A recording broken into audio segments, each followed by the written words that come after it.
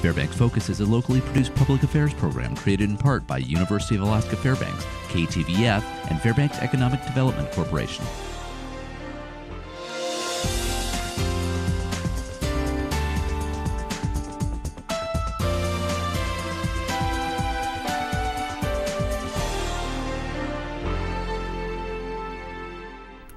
Good morning. Thanks for joining us here at Fairbanks Focus Alaska View. I'm Annette Pearson, and today I'm joined by Camille Relatado and Jeff Jacobson of the Arctic Winter Games.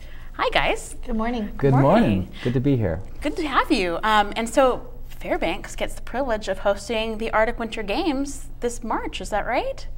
Absolutely. We are thrilled. Every 10 years, the state of Alaska is able to host the Arctic Winter Games, which is a, a premier circumpolar sport that brings in athletes from the nine contingents across the circumpolar north from Russia, Yamal, uh, Sami, Scandinavia, Greenland, uh, uh, Nunavut, Quebec, oh, Northern Alberta, Yukon Territories, Northwest Territories, and Alaska. And so we have 2,000 athletes that are going to be coming to Fairbanks in March, uh, March, 20, March 15th through the 22nd. And as I said, every 10 years, Alaska gets to host these. Uh, games, and this is uh, the Arctic Winter Games that were games that started in 1970, and so every 10 years they've been in Alaska. So in 1974, Anchorage hosted them, and then Fairbanks hosted them in 1982, and then again in 1988. And then they went to Chugiak Eagle River in, eight, in 96, Kenai in 2006, and then now here back in Fairbanks in 2014. Oh, very cool. And so, uh, tell us a little bit about your guys' involvement. Camille, what are you doing for Arctic Winter Games? Well, my position is twofold, really. It's marketing and merchandise. So we are very unique in that we're we consist of a lot of volunteer committees. So there's a lot of staff. However, there's not as much staff as are committees. There's 65 committees, and I sort of oversee seven to ten of those, roughly. Um, and my committees encompass publications, um, Ulu News, which is the daily publication that will come out every day of the games. There's merchandise. There's the website. Um, we're also doing a mobile app. So there's there's a lot that um, I do with regard to marketing. But then there's also the merchandise program, and there, these are just a few of the things that we are retailing. And we do have a store at 330 Barnett. Um, but we have a full merchandise program as well. So that's a little bit about what I do at the games. Cool. And speaking of the Ulu News, this Sunday in everyone's Daily News-Miner edition will be the first uh, Ulu News, and this is the uh, Ulu News of the uh, actually of the games that will be out every day during the week of the games. But this is kind of an early edition, kind of getting the community interested and excited about the games coming to town. We've had a tremendous response. Uh, on, a, on the cover, of course, is our mascot, Robbie the Raven. And of course, you see our little adorable little collectible stuffed uh, birds here. Uh, he uh, represents the spirit of the games, which is uh, Northern Spirit, Great Dreams. Or I got that wrong? Great, Great Spirit. Dream, Great Spirit, Northern Dreams. I always get those tw twisted. And he, he's a young raven who's kind of exploring what he wants to be in life and what, or what he's good at. Much like many of our athletes who are participating in the, in the Arctic Winter Games are sometimes the first you know, are new at some of the sports, and so they're kind of figuring out what they're good at. And so, Arctic Winter Games is all about building uh, skills and, and uh, character, and also giving our youth an, an, exposure to different cultures and languages and experiences that they wouldn't otherwise have in the Arctic North. Well, yeah, especially with you have people coming from all over the world um, into somewhere like as small as Fairbanks. Uh, what a what a cool experience that is for for our young athletes. Um, and you guys do all kinds of fun games and. Tell us a little bit about some of the sports people can, can participate in. Well, we have 20 different sports and cultural events, and I'm going to try to remember all of them. We starting with alpine uh, uh, skiing, and then we have badminton and basketball, gymnastics, wrestling, volleyball uh, biathlon skiing, biathlon snowshoe, cross country skiing, curling, Dene Games, snow, snowboarding, and Arctic sports. In, event, in, in addition, we have cultural uh, performances because each of the teams coming bring a cultural contingency to share song, dance, and, and, uh, and uh, stories with, with the uh, sporting events. Well, tell me about the Dene Games. What, what is that for people who might not know? Well, the Dene Games are likened to what we are familiar with with Arctic sports, which is the Alaska high kick. So the Dene Games are the native games that are um, more from the countries like Greenland and, can- and Canada. So it's it's comparable to that. Um, there will be competitors from those countries coming to compete in those games, such as um, I think it, the snow snake is one of the Dene Right. games, and so there's a kind of a long channel, and they see how far they can shoot this javelin-shaped um, piece of wood, and it's a distance throw um, on the ground. On the it skids on the ice. Um, there's also the stick pull. I believe that's Dene Right. games. And so there's a greased wooden dowel, and two competitors stand next to each other, and then they pull.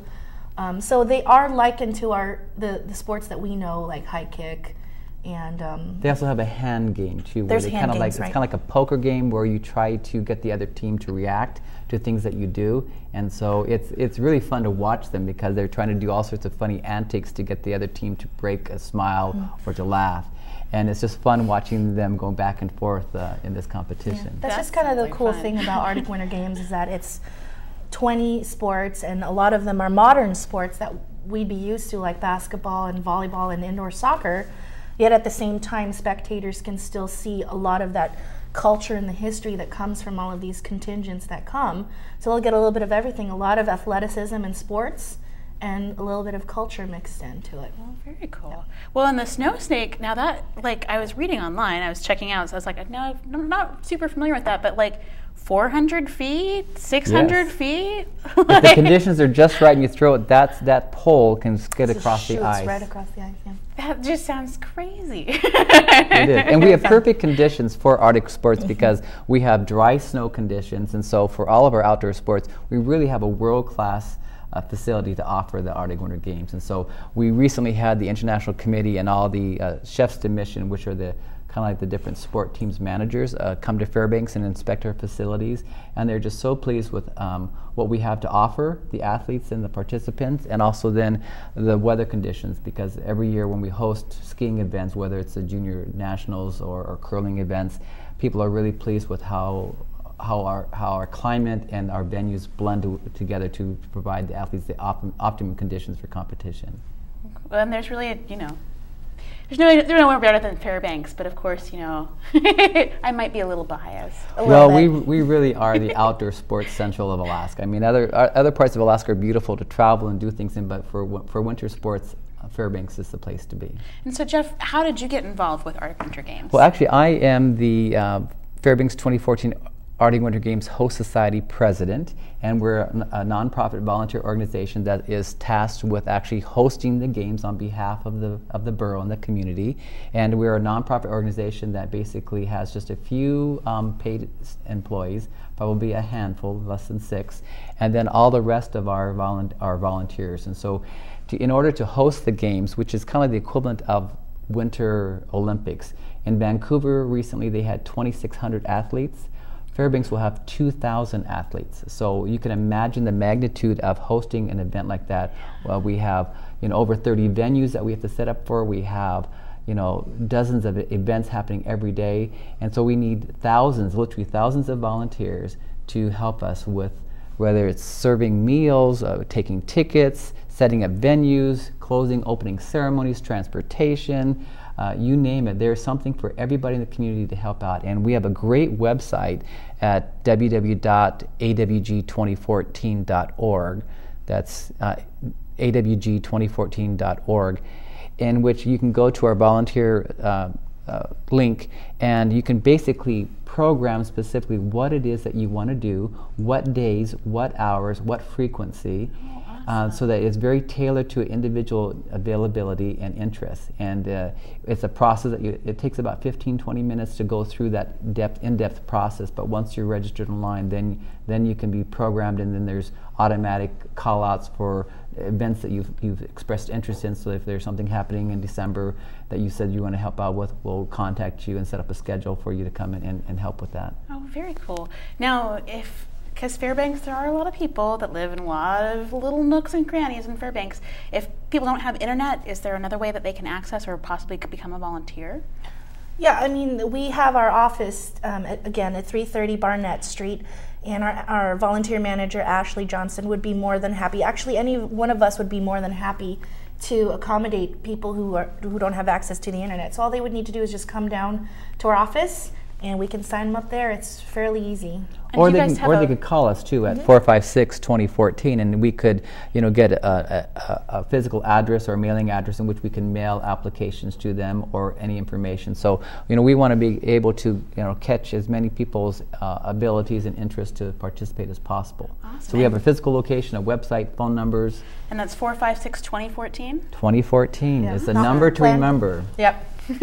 well, and so I know you said that they have lots of wonderful swag for sale down there at 33, 330 Barnett. 30 Barnett. But we're going to talk a little bit about something that you have to volunteer to get. Is that right? Yes, this is the exclusive piece here. Um, we debuted this at Sept- on our September 13 volunteer rally, which was presented by BP, and BP is the official volunteer program sponsor. So they as get you a see nice right there. little You get the logo. nice call out right there. Um, so as Jeff said, there is a large need for volunteers. You know, we really do need the entire community to come out and help. There's 2,500 volunteers that are needed. Um, Nanette said this is a really cool jacket, and it is. This is the volunteer jacket. So, um, in order to get this jacket, you would need to volunteer 12 hours during the games. And once you sign up online, we'll be able to um, keep track of you. So, or not in the creepy kind of a way, but you know, we'll be able to Track your hours. Track your hours. Um, so, what we're going to do right now is we're going to show you all the cool, fun features here, and we're going to have our lovely model try this Try out. on. Model the jacket for you guys. Okay. So, This was specifically designed for our weather conditions, and it's uh, made by a manufacturer that is very uh, well known, Loki, uh, for the brand is right there. Loki. for outdoor sportswear. So this is the volunteer jacket. There are multiple pockets here. You can actually put in a cell phone here in the media pocket. You've got a lot of room inside and outside. You can actually run your earbuds through here and listen to them if you're outside volunteering and just got to listen to some music. Um, The some hand- of the mittens. some of the coolest features that we've got here on this jacket um, are the built-in mittens. And so if, if you just retract your hand, pull it back out, and that's there you go, the built-in mittens. You'll never have to worry about losing mittens during Arctic Winter Games because they're right there with you. Right, and they're very breathable, so you're not going to get really, you know, warm fingers or sweaty, Sweaty. fingers. Or, and then the last part of it is, of course, this very neat built-in, and there she goes. She's ninja. so there's also a built-in um, face gaiter in here. All in all, I mean, it's the real, it's a perfect package to be outside volunteering with the Arctic Winter Games. So again, this is the volunteer uniform, 12 hours during Games Week. Please sign up, awg2014.org, 12 hours through the games. Um, there's also going to be a volunteer t-shirt as well as that. I mean, there's a lot of benefits to volunteering, you know, in addition to the jacket, the t-shirt, um, you'll also get an exclusive volunteer pin. And after the games, there'll be an after party for the volunteers. And just the benefit of being in the back scenes of something as huge as the Arctic Winter Games. I mean, that for me will probably be the biggest takeaway is, you know, we'll get the back scenes um, kind of view on how this all came down. And meeting, you know, thousands of people from around the world is not bad either. So. No. And I, the other thing is that we have 30,000 hours of volunteers needed over in 7,000 shifts. So you can imagine the, the, the breadth and depth of activities that we need to, to have people sign up for. And you know, one of the things we want to do is, is recognize and appreciate our volunteers. So that's why they get to keep this wonderful uh, coat afterwards. And so, you know, we'll have a sea of 2,500 coats out there during the games, but afterwards we'll have this legacy in the community of, hey, I participated. I was part of history when the games came back to Fairbanks in 2014. Right. Well, I want to thank Camille and Jeff again from the Arctic Winter Games for coming again today. This was awesome having you. And on March 15th, come on out to the Carlson Center. You can watch the lighting of the torch uh, for the opening ceremonies of the Arctic Winter Games. Uh, it should be a fantastic event. You can go see the uh, the Cauldron Monument now, and uh, again, get out there and volunteer. Be part of the community. Uh, come check out the Arctic Winter Games starting March 15th. Um, next up, we have Sam Allen filling in for Annie Bartholomew. Welcome back to Fairbanks Focus Alaska View. I'm Sam Allen. Today I'm interviewing Stephanie from Elite Urban Fitness. Yes, that's correct. And how long have you been in Fairbanks? We've been in Fairbanks just a little over two years. Okay. And what separates you as a gym from other gyms? Um, well, I, I really don't even think of us as a gym. I think of us more as a fitness studio. Uh, we specialize in personal group training, so there's at least one or two personal trainers with you at all times during the group class. So we're there monitoring what you're doing, checking your form. So really, you just have to walk through the door and we take over. okay. And what sort of equipment do you use? Um, all sorts of equipment. There's no machines that you get on, um, but we use Dynamax balls. Um, we have a rig with bar and plates, um, pull up bars, uh, ropes, uh, balls to slam down, uh, push sled. We have some Concept 2 rowers, um, all sorts of really cool stuff. Cool. And I couldn't help but notice when you walked in here, you were wearing toe shoes. of course. What's uh, the idea behind that? Uh, well, um, it's basically like walking around barefoot, um, but it um, really helps build all the little muscles in your feet and get you back to how you really should walk naturally. So, um, great for working out in, great for running. There's all different styles. Um, if you go talk to anybody that works out with this, majority of them have all gone out and bought some and they love them. So, But you don't like, you wouldn't lift weights in them because that could be. uh, I do everything in them. What if you like drop it, a weight or something? It's not really any different if I have a shoe on versus this. If I drop a weight on it, it's going to hurt. So, Okay. Just work through the pain. yeah.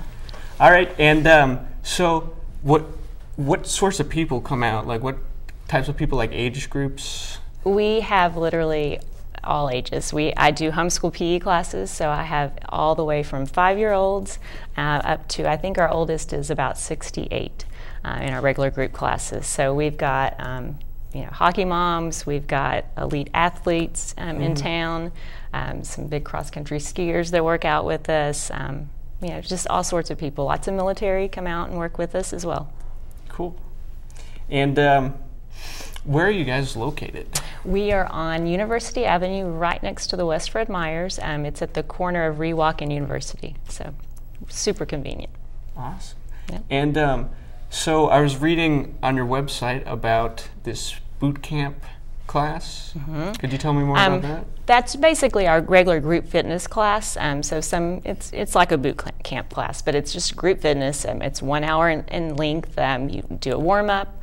Uh, we work on agility, balance, coordination. Uh, go into skill builder, teaching you specific techniques and skills.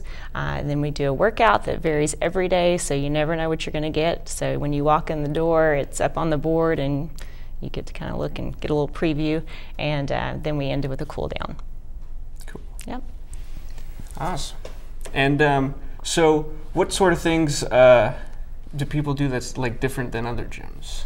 Uh, well, I mean, in, in a typical gym, you're going to see people on a machine, uh, you know, doing weights and things with a machine. And in our gym, it's you, the machine, and you're pulling all the equipment, you're throwing, you're crawling, you're jumping. Um, so it's uh, it's a lot of fun. It's kind of like a playground for adults almost. So. How did the idea for Elite Urban Fitness come about? Um, my husband's active duty military, and uh, so when he was in Iraq um, back in 2009 and 10, he and one of his lieutenants started uh, a facility like this with the MWR, and it was super popular. And uh, he had already done this stuff with his soldiers for years and years. Um, so when we he came back to the states, we were in Virginia for a little while. We worked with the YMCA there and did a program like we do here. Uh, and then when we got here, we waited about four months and kind of got settled a little bit, and then started um, doing just morning classes. And then when we found a building of our own, we did a two-week uh, whirlwind renovation, and there we, it was started. So Wow. So, Yeah. how long have you been in Fairbanks? we've been in Fairbanks for two, just a little over two years, um, and we've been doing this. It'll be two years in January. So, Okay. but we've been in our current location for a little over a year now. So, what do you guys like? Open like five days a week? Uh, we are open six days a week. Okay. Um, so we have early morning classes. We're there at 5 a.m. Um, we have 5:30, 6:30 a.m. I do a noon class a couple of days a week. Um, we have a 5:30 evening class every night, uh, and a 6:30 uh, evening class a couple of nights a week, and then Saturday early morning.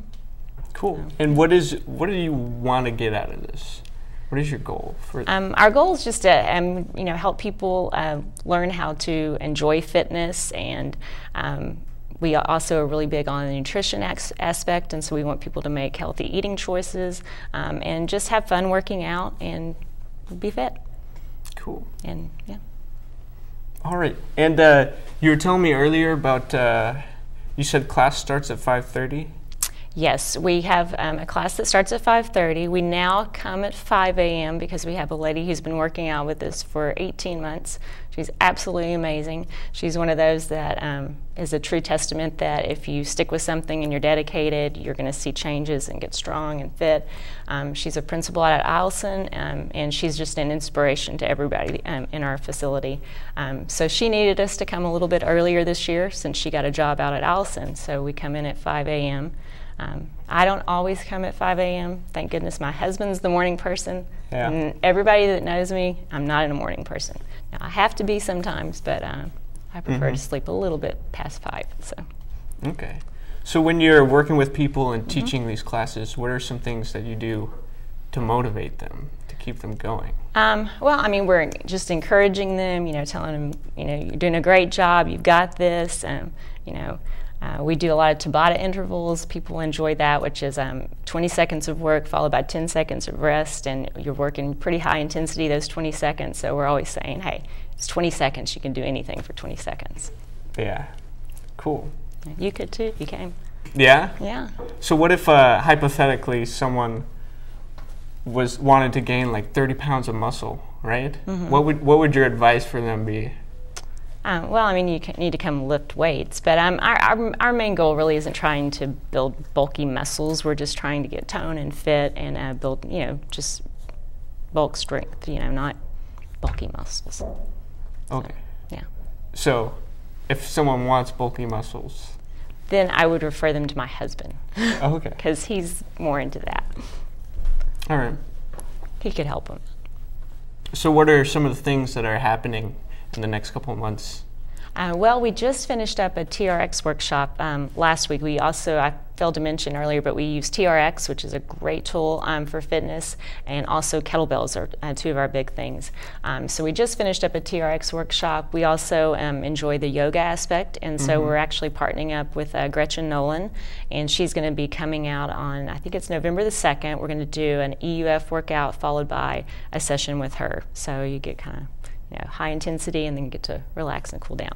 Okay. So, I'm not 100% familiar with all those terms. What's that? TRX. Um, it's a suspension training system. Um, so if you would come out to Elite Urban Fitness, I'd be happy to show you. Um, kettlebells, have you ever heard of those? either? Yeah. Okay. But yeah, we love those. Use those all the time as well. Um, so just, um, but TRX is it uses your body weight. It's a fantastic tool. It's perfect for beginners. They're just starting out, but it also um, meets anyone's needs, even elite athletes as well. So super tool. And if people want to find out more information about Elite Urban Fitness, Uh, well, they can go to our website, which is eliteurbanfitness.com. Uh, we also have a Facebook page that's very active, um, and they can call me and uh, text me. I'm always available. So, Awesome. yep. And so, uh, so what type of people in the community uh, have you seen come through your doors? Um, I mean, we see everybody. Um, we sponsor the Ice Dogs, so their team actually comes and works out um, during the season with us, um, and so uh, we enjoy having them there and uh, love going to the games too. Um, so definitely have the Ice Dogs. Um, we have kids that are homeschooled that come from our homeschool PE classes. We do those five days a week. Very popular class. The kids have a great time and they're amazing. Um, and then, like I said earlier, we have, I mean, just all sorts of people. I mean, from teenagers to college students to hockey moms and grandparents, you name it, we've got it. Yeah. We have lots of um, people who had never run before, and we started with Beat Beethoven in the spring. Okay. And uh, we actually had, I think, six people that finished um, the whole season running the Flint Series and then went and ran the mar- marathon as well, and had never run before until um, we started out in the spring. So, Wow. yeah, so some amazing accomplishments. Yeah. So, uh, what are some of the stuff that you train the ice dogs with? Um, well, Or we don't. Yeah, we don't personally train them. Their trainer um, comes in and trains them, um, but they use our facility and all of our equipment, and we provide the space for them to have to be able to train as a team, which is important. Yeah. So, if someone was looking to get more involved, how would they go about doing that? And uh, what? How does the cost compare to other gyms? Okay. Um, it just um, it varies on what the individual wants. Um, the first class is free because we want people to come try it out and make sure it's something that they're interested in um, and it's going to fit their need um, before they sign up. Um, so we don't want anyone to sign up a contract and then decide, oh, I don't really like this. We never had that happen, but um, so first class is free, so come out and try it. Um, after that, you've got options. You can come two times a week, three times a week. You can uh, go in the unlimited plan. We also don't want people to feel like they have to be locked down into a contract, so we have options. You can do monthly, or you can do three month or six month contracts. Obviously, the longer the contract you sign, the more discount in the price that you get. And we want you to come because if you come, you're going to get results. If you don't come, you're not. So. Could you tell me more about your website and the uh, services that you offer? Sure. Um, our website is www.eliteurbanfitness.com. So you can go there, and all of the information that you need is there. Um, if you want to speak with me, though, you can call 907 370 7080. Um, You can also text that number as well. Um, sometimes I'm in a class, so I can't answer the phone, but I'll get back to you as soon as I can. Awesome. Yeah, and I was surfing your site and I was amazed that it wasn't just like the classes that are being offered, but it was like it had pages of like nutrition information mm-hmm. and like kettlebell studies and stuff and like Right. We try to, um, you know, put down different articles and things that have good information. I also post things all the time on Facebook. Um, we um, are real big into nutrition and want people to eat just whole foods and eat healthy. Um, so, um, you know, we try to promote that as well. Um, we did a raw food challenge this summer that was really um, in, Oh, wow. interesting. Um, we had uh, probably, I don't want to say, 35 people that did a one week raw food challenge. Um, And so that was fun um, just to kind of try something new and see their take on it. I'm uh, myself a vegan, so I eat kind of that way all the time. Um, but it, um, so it was fun. But um, we Very do that cool. as well. Um, oh, I'm so screwing up this. oh that's fine. So your Facebook page is that just facebook.com slash elite Yes, Urban Fitness? facebook.com slash elite urban fitness. Um, that's a great place to go because I'm always posting pictures and videos so you can see like real people doing um, what we do. So, um, yeah. All right. Well, thanks a lot for being here, Stephanie. right, thanks. Thanks for having me. And come to Elite Urban Fitness to work out. Oh yeah, tomorrow morning. Free class. 5 a.m. 5 a.m. I'll see you. All right. Well, that will do it for uh, this edition of Fairbanks Focus Alaska View. Thanks for tuning in.